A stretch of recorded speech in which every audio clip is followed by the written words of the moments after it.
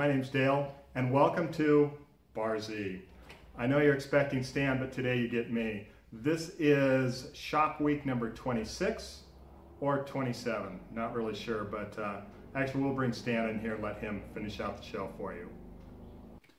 Hey, thanks for that, Dale. And this is, in fact, uh, week update number 26. And for you guys that don't like weekly updates and uh, FaceTime, hit the dislike button. That's the one with the thumb facing down and move along.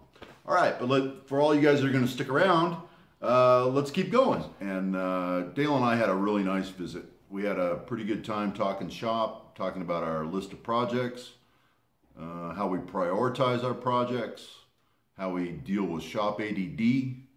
Uh, we just had a we just had a really nice visit and got to talk about quite a few things. And Dale's an interesting guy.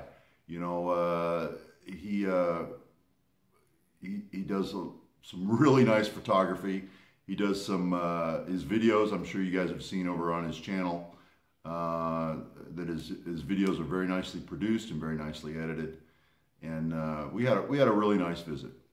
Um, he also brought with him one of the coolest camera mounts I've ever seen. He called it a gimbal. Let's take a look at this thing. Okay, this is quite possibly the coolest thing I've ever seen. Check out this gimbal, left, right. Oh my God, I gotta get one of those. That is just too cool for school. And uh, back. So uh, yeah, he's uh, when it comes to camera work and photography and uh, shooting video, uh, Dale's uh, really got it going on. I, am sure you've noticed your if you've watched any of his videos, how nicely edited they are, and, and the content is so smooth and seamless. So much better than the hack job I do. I get my point across, but he gets his point across style. Uh, next up, uh, we're going to talk about uh, Ray Cornelia and Colin over at CompEdgeX.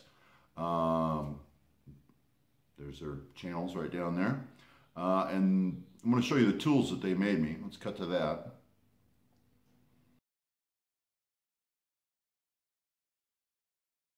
So those are the tools I use on a daily basis. Uh, the, the mill stop uh, was made by Colin at CompEdgeX, and the uh, uh multi-use hammer is made by Ray Cornelia at Ray's Garage.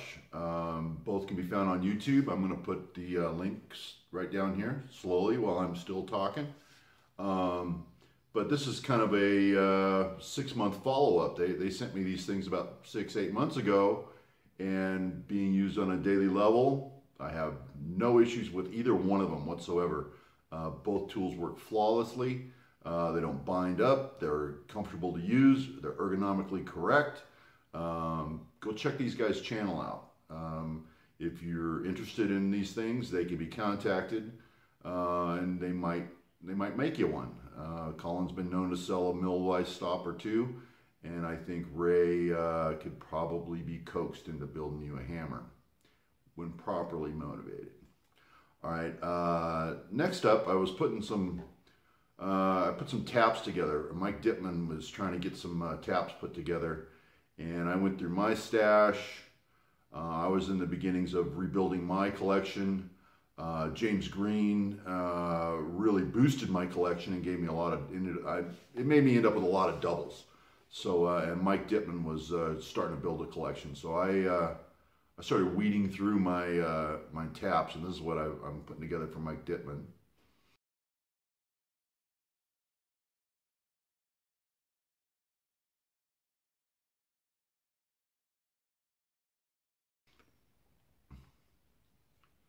And so, Mike, you got those coming uh, here pretty quick. I, am due for a road trip here in the in the near future, and uh, I'm going to bring those up to you. And uh, I'm going to visit Chuck Vanetta over at Knolltop, and uh, visit with you, Mike, and uh, see if there's anything else up in the in Central California I need to do.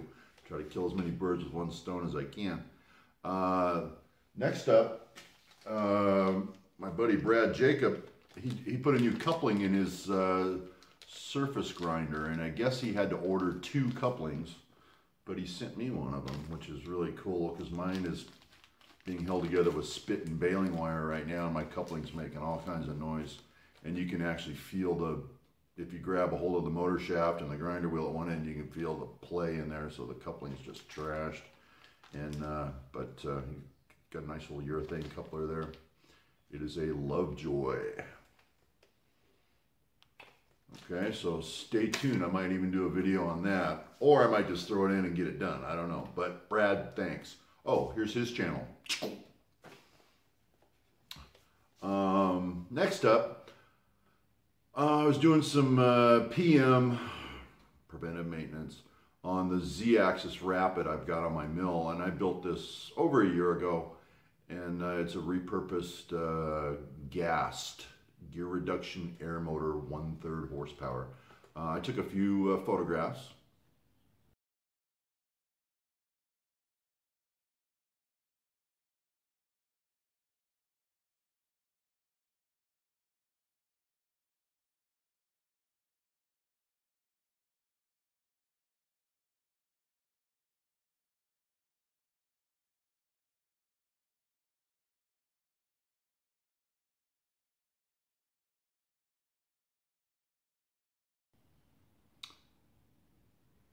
And uh, I shot a little video.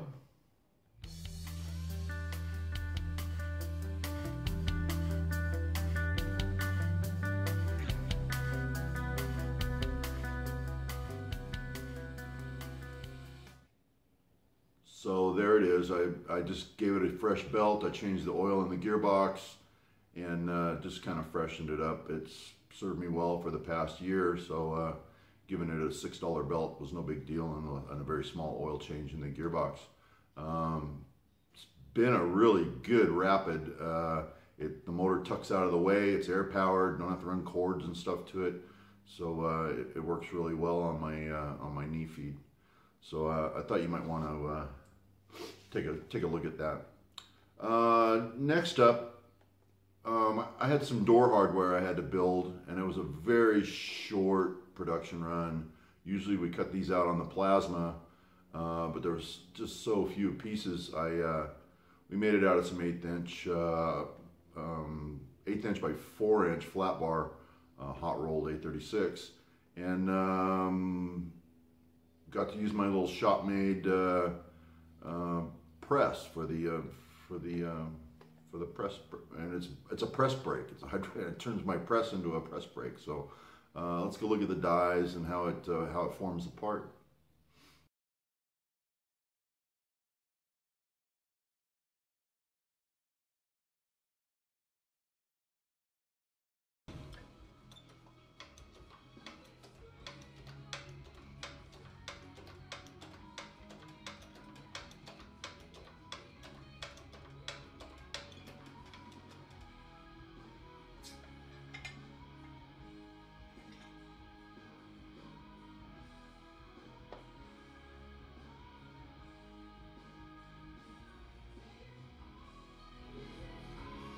So fast and easy. And if you've got a press, make yourself a set of dies. You know, you never know when you want to bend up a piece of eighth inch or those dies will actually do quarter inch as well. So uh, pretty, pretty handy to have. And uh, press brake profiles are available online. Google is your friend. Uh, next up, uh, another YouTuber, not a poster, but one of the, one of the subs, and uh, he's a local from around here. I'm not going to use his last name, but his name is Greg. Um, he recently acquired a gaggle of little drill press vices. Um, I think it was 10 or 12 of these little Palmgren vices. Uh, but and he brought a couple over, and I, I bought a couple of them off of him. They were just little sweet vices, just little sweetie pies. Uh, no jaws, but I'm gonna make my own jaws for him. Make one with maybe a soft jaw and one with a hard jaw or something.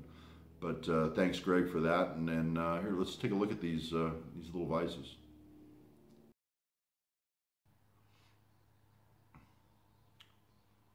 So nice little vices and uh, handy around the shop, absolutely.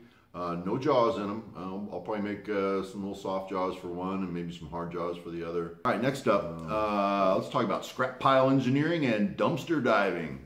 All right, first first thing is some scrap Uh, this was a heater enclosure that came in actually to West Coast Customs that didn't get used. Uh, it was intended to be a 40 inch by 40 inch by 40 inch box with a, one large door, a hinge, and a handle. And it didn't get put in. It was going to get in the way of uh, an electrical panel and, uh, and, a gas meter that was already installed. So uh, we did, did not put it in.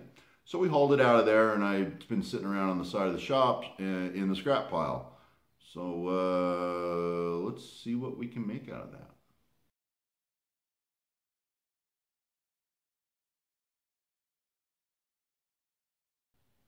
All right, so that thing turned out to be a shelving unit, 40 by 40 by 12 inches deep, and it now encloses some uh, bin boxes uh, to organize parts. But final material cost, zero. I already had the pop rivets around. The thing's just pop riveted together because I didn't want to ruin the powder coat on it. But uh, made for a really nice wall unit. And uh, thanks for those people that sent the, that heater enclosure that uh, wasn't used. Uh, next up is some uh, some tops for my uh, workbenches here in the shop. you probably notice they're right here. Um, and these are, these are really nice Corian, and I did a dumpster dive for these. So uh, if I see people throwing away Corian in long chunks, uh, I'm going to park my truck next to the dumpster and instruct them to put it in my truck instead of the dumpster. I didn't even have to load it. That's a no-brainer. So uh, yeah, dumpster diving for Corian. Gotta love it. Let's take a look at those. So you probably noticed I've got new uh, countertops here in the shop, and this these were a dumpster dive, but they've been uh, pretty durable. I mean, this is a this is an area where I work, uh, you know, frequently right here, and you know, this is right next to the mill, and you know, I throw stuff down on there, and well, even now it's got it's kind of oily, uh, just from putting parts and stuff on it, and uh, that's where kind of where I deburr. You know, if I need something clamped in a vise, I just throw in a vise real quick and deburr it right there as I'm working. But uh, these countertops have been good. I do lay towels down because a lot of times parts will come over from the surface grinder. Uh, they go to the sink, get, you know, rinsed and washed off, and then they come here. And I just lay them on a towel where I can hand dry them and, and clean them up and re-oil them. But uh, no, so far I'm pretty happy with the with the Corian. Um, and here again, towel for setting stuff down. Um, but I've got rubber mats like under my Demag. I put a rubber mat there because it it's just, it buzzes very loud uh, when you're deburring parts, and that kind of absorbs it, and I can pass parts across it without them slipping. But uh, pretty happy with that so far.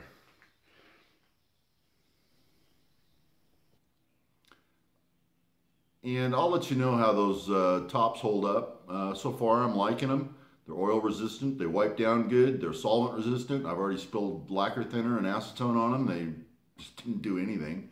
Um, you know, I've set parts down that had acid on them. Nothing. So, so far, they're, I'm, I'm liking them. Uh, you know, you'll probably notice I got a lot of towels and rubber mats and things like that set down on them because they are a little slick and parts slide around. If you're working on something and chasing it around on the bench, it kind of sucks. So uh, you'll see a lot of towels and rubber mats around on the, on the benches. But uh, so far, I'm liking the Corian. And uh, next up, we got a uh, quick surface grinder tip for you guys that don't like your stuff flying all around the shop. So uh, let's take a look at uh, how I modified my surface grinder. Here's a little tip for you surface grinder guys. A lot of you guys have some kind of a rubber flap, or maybe you want to install a rubber flap on the side of your wheel to stop the stuff from coming out. Well, eventually you'll burn a hole in it. And eventually it'll get really nasty.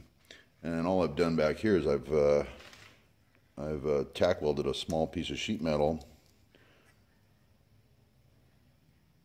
right there in our gunky, nasty rubber flap with a hole burned in it.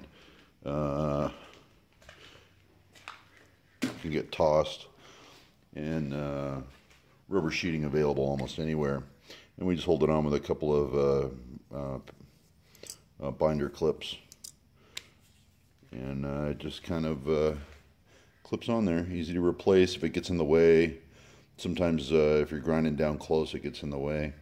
and you can remove it very quickly and easily with no tools required. But that's my quick tip of the day. All right. And next up, uh, my sticker collection grows. Okay, so uh, that's it for this week update. Uh, I'd like to say thanks to everyone for watching and uh, for all you guys that don't uh, like weekly updates, why'd you stick around? Give it a thumbs down, give, move along your way.